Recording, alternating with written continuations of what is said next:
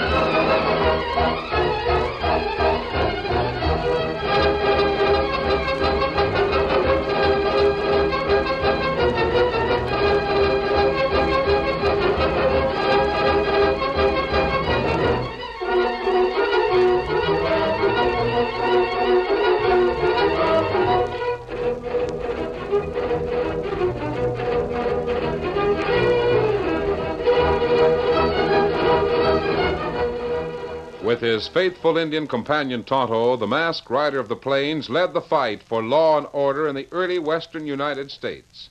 The stories of his strength and courage, his daring and resourcefulness have come down to us through the generations. And nowhere in the pages of history can one find a greater champion of justice.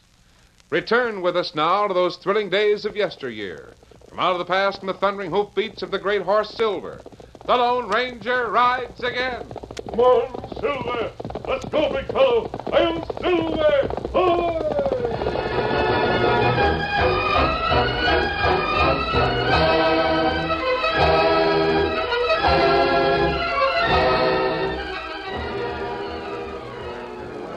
The boys in the bunkhouse of the Box B Ranch had been talking about famous fighting men of the frontier. And then, when Windy Still got started, everyone else gave up. Windy was a tall, slim cowboy, perhaps 35 years of age, and the boys would admit grudgingly a rather handsome fellow. But as Windy Still paced back and forth along the bunkhouse floor, the boys exchanged sly winks among one another. I want to tell you, gents, right here and now, that he was the only man, the absolute one and only, who could ever match Windy Still on the draw. If you was to tell us about some fella that shaded you on running off the mouth, we wouldn't believe that either. Why, Skeeter, are you meaning to insinuate I was stretching the um, facts? Shucks, no, Windy. I wasn't incinerating. I was just telling you. Now, now, boys, boys, I, I ask you, is that any way to look upon your old saddle partner? Do you think for one minute I'd be standing here looking you homely buzzards right in the teeth and lying to you? Yeah! Well, then I guess you don't want to hear my story. Oh, go on, tell it, Windy. Oh, thanks, Tommy. Sure, he's going to tell it anyway, and we might as well listen to it. Personally, though, I don't believe a word of it. Well, you ain't even heard it yet. And what's more, I don't believe there is such a gent as a Lone Ranger. Oh, yes, there is. Now, wait a minute. Wait a minute, you fellas. There's some of you that's been more than five miles away from home, I reckon.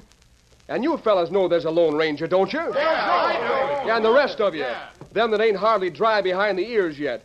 You think there ain't no such fella as the Lone Ranger, huh? That's right. We don't believe there was such a train robbery as you mentioned. And we don't believe that you and this Lone Ranger fella broke it up. And we don't believe now that... wait a minute, wait a minute, Skeeter. I happen to be a mite older than you. Yeah, sure, Tommy. Now, there was such a train robbery as Windy told about. It was, um, let's see, it was about four or five years back. Uh, Union Pacific passenger train. And the holdup took place at, um, uh, let me think It now. was just west of Fort Benner. That's right. You're right about that part of it, Windy. Well, the way it happened, I was a deputy United States Marshal at the time, and I. I just happened to be riding the train to. to. Skeeter, throw a chunk of wood in the stove, will you? Yeah, sure, Windy. Uh, go ahead with your tale. Well, anyway, I was on the train, and though I didn't know it at the time, so was the president of the Union Pacific. And you know, you know who else was on that train? No. Well, sir, the most beautiful young woman I ever laid eyes on in my life. And today, that same young lady is known the world over I as. suppose you saved your life, huh, Windy? And then she fell in love with you and begged you to marry her. And you said no, huh? Well, uh, no, no, not exactly, Skeeter. But you're partly right. that train used to stop regular about 10 miles west of Fort Bender to take on a load of wood. Uh, what was that beautiful young lady's name, Windy? Well, uh, her real name was Clementine Brown. Clementine Brown. Yeah, but but she was better known as Molly Mayfair. Yep, yep, Molly Mayfair. And I reckon even you ignorant cusses have heard about her. Well, the train was stopping to take on fuel, like I said. And like I said, I was just riding there in the coach. When all of a sudden the door busts open, and these four fellas come into the car. All right, you folks. This is a stick up. Don't nobody make a move, it'll be your last. Hey, Red, you keep that other door covered. Pete, you and Rand start collecting. No, don't, please. Don't take my purse, please. Get your hands off that girl, you mangy buzzard! Look out, Pete! Why, you... Oh! Rance, Red, get that Jasper. Get him. Hey, come on. Come on, fellows, this way. There's another one wearing a mask. And an Indian. Take it, you buzzard! Hey, what? the- That masked man, him and the engine are fighting the train robbers. Let him have it, big fella. Rance, Pete, come on, let's get out of here. No, you don't, mister. You wanted to get on this train, and you're going to stay on it. Keep coming, outlaws. And when you get off train, you go to jail. Got it out, I'm hurt. I quit. Throw down your guns when you've had enough. That's enough. You win. All right, Marshal. You can gather up their guns now. Doggone, mister, I don't know who you are, but you sure got here just in time. We found out in Fort Bentner that these men were planning to rob this train when it stopped for fuel. They made it our business to be here when they tried it.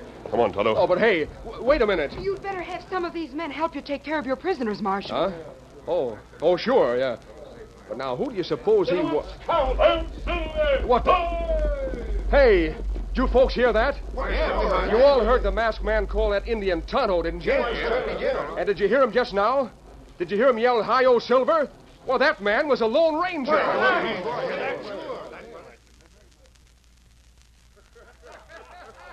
Doggone, Windy. You ought to go on the stage. You're that kind of a good storyteller. Oh. Go on the stage, huh? Well, now, let me tell you about the time I did go on the stage. Oh, yeah, and it was all on account of what happened when me and the Lone Ranger broke up that train robbery. Oh, I I was. bet if one of us he- was to mention a million dollars, you'd want to tell us about the time you had a million. Oh, now, Tommy. But, but say, you know who else was on that train that I forgot to mention? No. You mentioned a million dollars. It just reminded me. Diamond Jim Barton, that's who. And say you ought to see the way that fella could Oh, do. holy mackerel, Windy. Why don't you cut it out? You expect us to believe all that baloney? President of the railroad. Molly Mayfair, the Lone Ranger, Diamond Jim Barton. Oh, Fellas, fellas, someday you're going to be mighty sorry for doubting my word. Someday. Maybe next time we make a trail drive into Kansas City, I'll go to my strong box in the bank there and show you the check that was given to me by the president of the Union Pacific. Sure, and the pass he gave me to ride in his railroad for nothing. Well, Sure. you gents can stand more of this wind jamming, but I can't. I'm going to turn in. Now, wait a minute, Skeeter. Might as well hear the rest. Go on, Windy. Well, there was quite a hullabaloo when that train pulled into Cheyenne. And after I got them prisoners in jail, we all had a big party. Me and the president and Miss Mayfair and Diamond Jim Barton. We had a big dinner. And that fella from the railroad said to me, Mr. Still, you've done the Union Pacific a great service, and I want to reward you. Oh, I, I was just doing my job. Anyway, if it hadn't been for the Lone Ranger, Well, we. someday, perhaps, I can reward him, too. But right now, I'm going to offer you a job with the Union Pacific for life. You'd better take that offer still. The Union Pacific is going to be a big outfit one of these days. Well, I reckon you're right, Mr. Barton, but uh, I, uh, I don't feel like getting tied down to no steady job. You're making a big mistake. Don't you think so, Miss Mayfair? You know, I'm just as grateful to Mr. Still as you are. and so am I. they wouldn't have gotten as much from me as from you, Mr. Barton, but but I was carrying nearly a thousand dollars in cash. Every cent I have in the world. I tell you what, Still, if you won't take the job with us, I'm going to give you a check on the Union Pacific for five thousand dollars. Five thousand dollars? Yes, and a pass to ride on the UP anytime, anywhere, as long as you live. Well, I'll be doggone. And Mr. Still, Uh, yeah, Miss Mayfair? I'm going to be at the Opera House in Omaha for the next two weeks.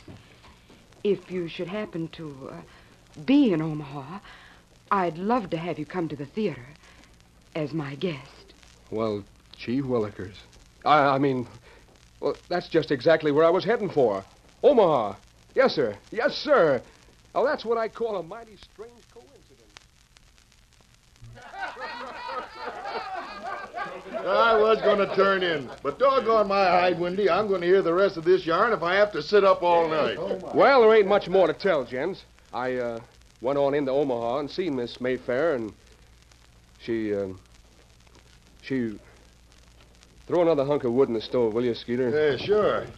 Uh, what was you saying? Uh, she what? She was mighty nice, fellas. Mighty awful nice. Uh, was that where you went on the stage and started play acting? Yeah. Yeah, that was a place. Well, I'm going to turn in and get some shut eye. See you gents manana. Well, hey, what the? Start out with a story and just get up to the interesting part and then quit. Oh, come on, finish it, Windy. Even if we don't believe a word of it, you ought to finish it. Oh, some other time, amigos. Some other time. Hey, some riders coming. Yeah. Wonder who'd it be this time of night. Well, whoever it is, we're... Holy Hey, mackerel, a masked man. What's your business here, mister? I'm looking for a man named. What the? Windy, what the blazes? He went right through the window. Hello, stop that man. That's Windy Still. What's, what's the idea of him going through the window? I'll tell you why, Skeeter. Here he's been bragging all evening about being a friend of the Lone Ranger, ain't he? Yeah, right. Uh, sure. Unless I'm badly mistaken, this mass hombre is the Lone Ranger. And he's known to be after crooks and outlaws, ain't he? And I'd say he's mighty anxious to get his hands on Windy Still for some reason or other. Is that right, masked man? What Tommy says? Well, I'm uh, mighty anxious to see Windy. Come on, let's try to find him.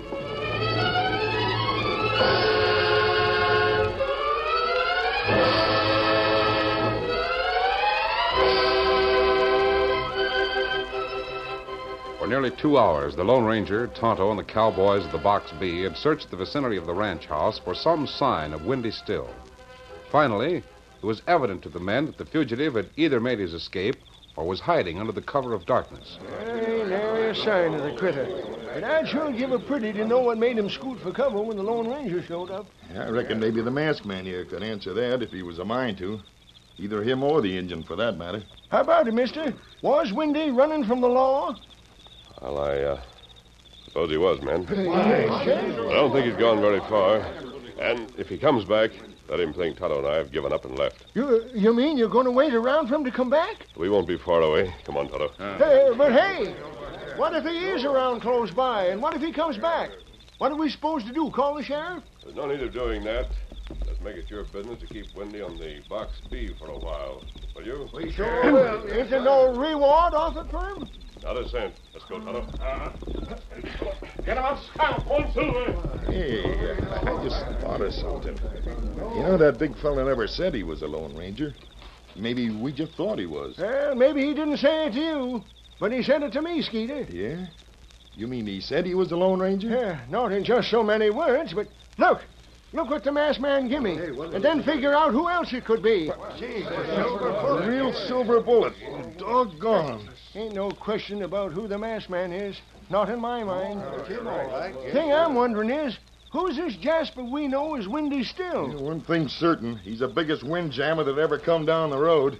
I know that I never in my life heard one man who could talk as fast as that. Now listen, you fellas. You keep mum to Windy when he comes back. What the Lone Ranger said about Windy running from the law, you hear? Yeah, sure. I ain't so sure, but what somebody ought to go into Big Bend and tell the sheriff. Uh, later, maybe, but first, let's find out what in thunder this is all about.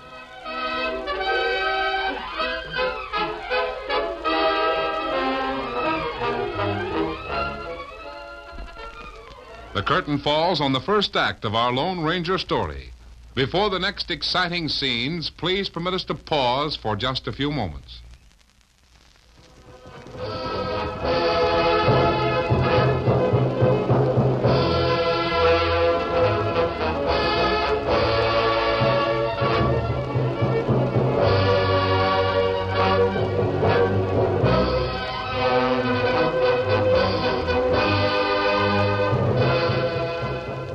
To continue our story. The Lone Ranger's sudden appearance at the bunkhouse of the Box B Ranch caused a great deal of surprise and speculation as to why he wanted Windy Still.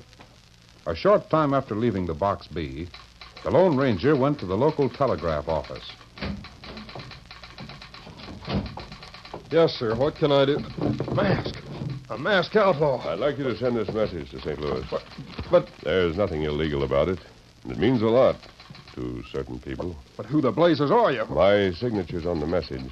Here's a dollar for sending it. And here's another one to forget the signature after you sent it. Adios. Wait just a minute until I finish reading this message and see if I want to say. Well, I'll be. Wait. It's signed the Lone Ranger.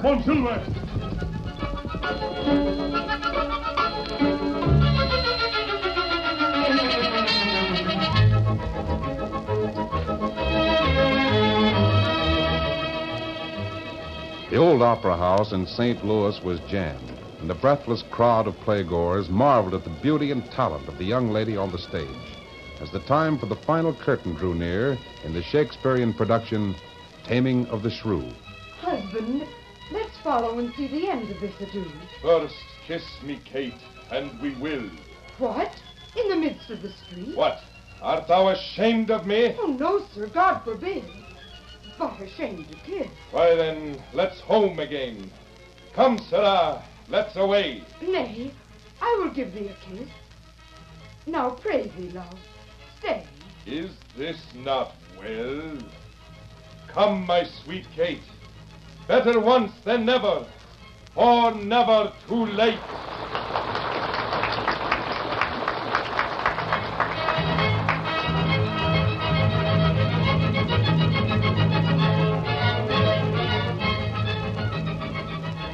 Great theater was empty when Molly Mayfair came out of her dressing room to find Ronald Camworth waiting for her. Ah, you were magnificent tonight, my dear. Magnificent. Thank you, Ronald. I have a carriage waiting, Molly. Will you dine with me? I, um, I think I'll go to the hotel if you don't mind. Ah, but I do mind. Molly, Yes. why do you avoid me, darling? Why must I constantly tear my heart into Oh, bits over... please, Ronald. Save your romantic emotions for the footlight. Next week we open in New Orleans, and I'm sure the ladies there will appreciate your ardor more than I. Ah, New Orleans. Truly a garden spot. A paradise of hyacinth, wisteria, magnolia blossoms, and, uh, and, um... Foghorns. They keep me awake every night. Dear, dear New Orleans. How well I remember my last triumph there as Hamlet. It was during that glorious season of the Mardi Gras. And throughout that beautiful city, the name of Ronald Camworth flashed about from lip to lip, and. Oh. Uh, just a moment, Ronald. Over here, Billy. Yes'm. Here you are, ma'am. Here, Billy. And thanks for bringing it up. Oh, thank you, Miss Mayfair. Uh, telegraph, hmm? This is to advise you that Why, Molly, what in the world is the matter, darling? I. You're trembling, child. Here, let me see that message. No. Well, why, why, I... I'm sorry to disappoint you about the wisteria and, and hyacinth and magnolia blossoms, Ronald. But, wh- why, I don't understand. We're not going to New Orleans after all. Not going. But we've got the to... opening will have to be canceled or, or postponed. Perhaps later you'll get your chance to triumph in New Orleans with a different leading lady. Good heavens, Molly. Well, please tell me what's the meaning of this mysterious talk. What does it all mean? It means that we open next Monday in a place called Big Bend, Texas, for my last appearance on any stage anywhere. Big Bend? Big Bend. It's a cattle town in Texas. And for your la... Molly, what in heaven's name do you mean, your last appearance? I'll not try to explain to you, Ronald. But, but, but, Molly, this horrible place you mentioned, Big Bend. What, Molly, why? Why not New Orleans, Molly? Because I don't like foghorns, that's why.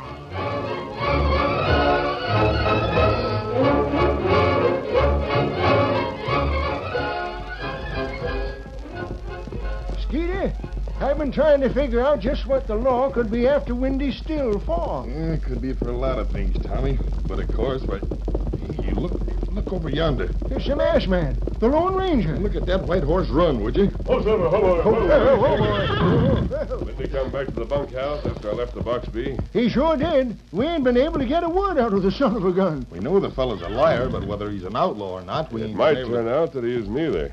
You mean he ain't been lying to us at all? You mean You that... said your own self that Windy was running away from the law. He could be doing that without the law chasing him, couldn't he?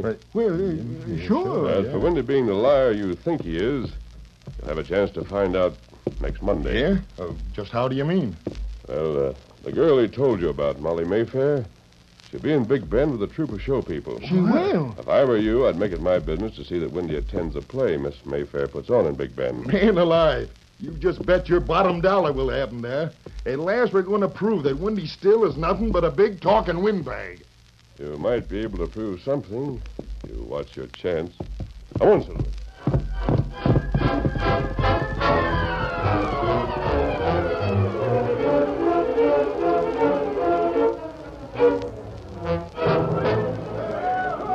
From behind the heavy curtains backstage, Ronald Camworth surveyed the group of noisy cowboys, prospectors, and townspeople who were jamming into the small theater. Molly, I tell you this appearance before these hoodlums is positively a disgrace to your career. I'm not thinking in terms of a career tonight, Ryan. I can't understand what's come over you. Throw away a two weeks engagement in New Orleans to play a one night stand in Big Bend, Texas. Ah. If it weren't for you, I wouldn't condescend to stay overnight in this awful place. Excuse me. I must speak to the stagehands. What, what, what? I say, a, a masked outlaw. This gun is loaded, Camworth. Keep walking. Just what is the meaning of this outrage? Do you think. I think it can be arranged for the great Ronald Camworth to avoid lowering himself in such an awful place as Big Bend. But what, what do you Keep intend? moving, mister.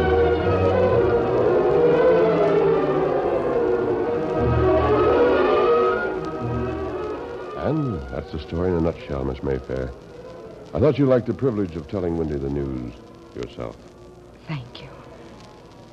Thank you so very much for everything.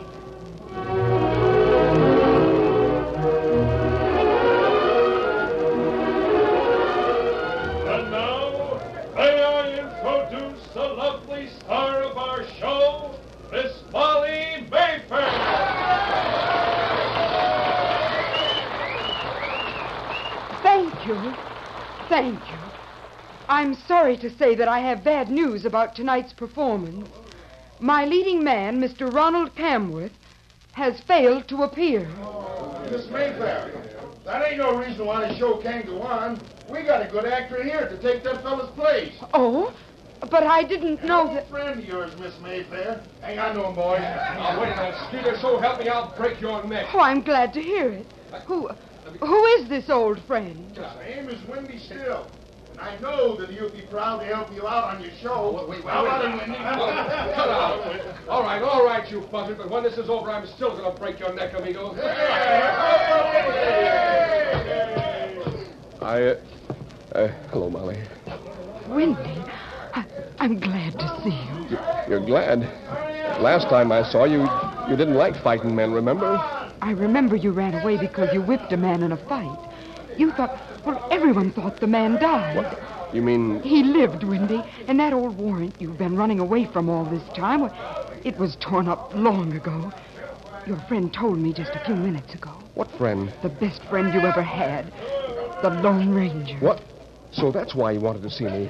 And I thought. A long time ago, I, I thought a career would be the most wonderful thing in the world.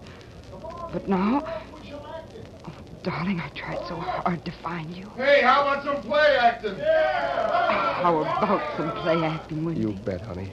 And when we hit that last scene in the fifth act, we can stop play acting, huh? Yes, darling. We'll make it very real. Mr. Still has consented to assist me in presenting that great Shakespearean comedy, The Taming of the Shrew.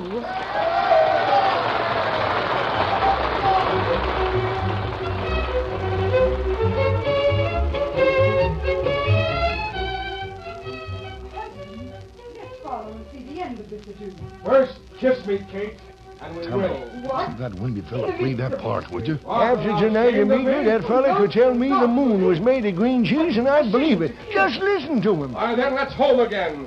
Come, Sirrah. Away. Nay, I will give thee a kiss. Now, pray thee, love, stay.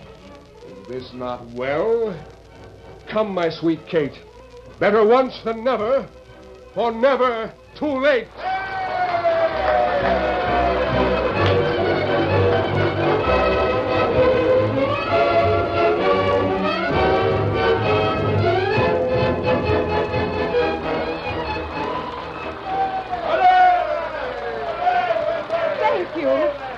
You very much, everyone. I've never played before a nicer audience. Molly. Molly, darling, how'd you ever find out I was down here in Big Bend? The Lone Ranger sent me a telegraph message in St. Louis, and. Oh, oh good heavens. What's the matter? Camworth. The great Ronald Camworth. He's bound and gagged in his dressing room. Let's go and tie him, shall we?